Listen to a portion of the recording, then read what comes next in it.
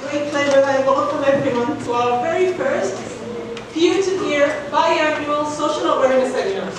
Woo!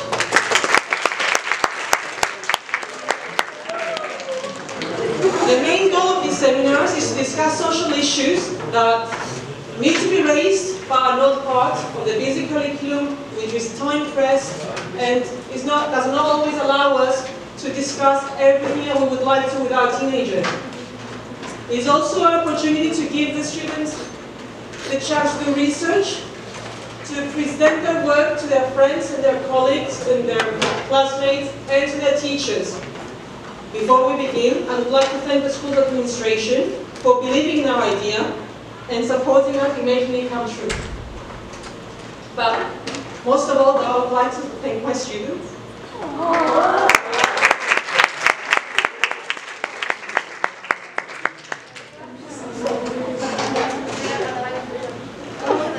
Sorry.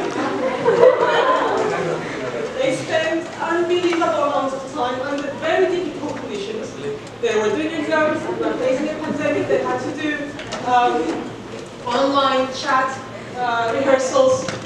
Um, they had to adjust again and again because we had students uh, going into quarantine either because they got sick or because someone close to them got sick. And even today we had to make changes. So um, thank you.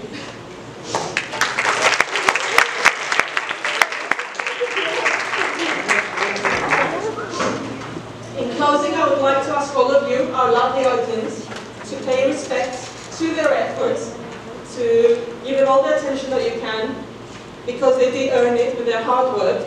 And of course, give us um, your understanding because not everything is the way we would like them to be. And it is our first time, so there's always room for improvement.